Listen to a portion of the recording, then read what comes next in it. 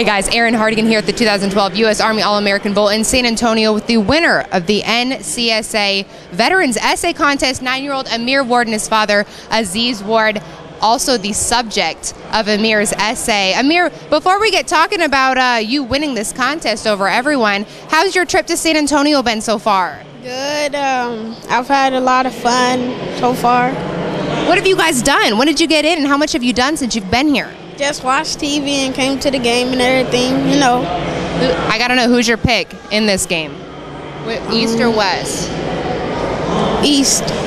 He's a good analysis. Now, your your essay, Amir, was titled "My Dad, My Veteran, My Hero."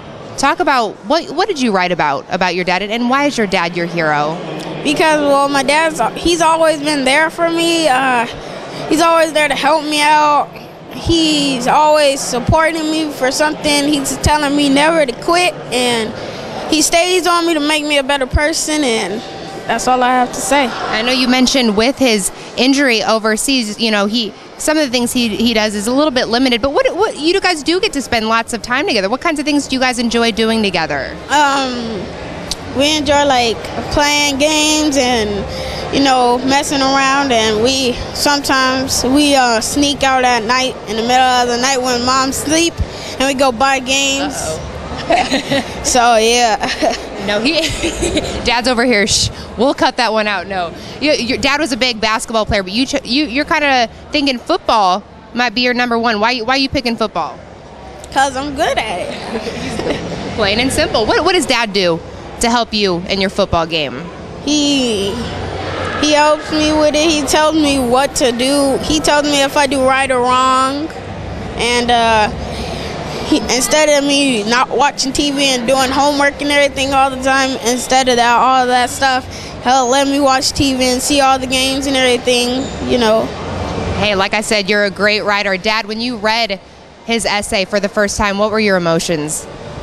I was just uh, amazed that he that he felt that way about me. I mean, I, I try hard with him, and you know, we just try to keep him on track.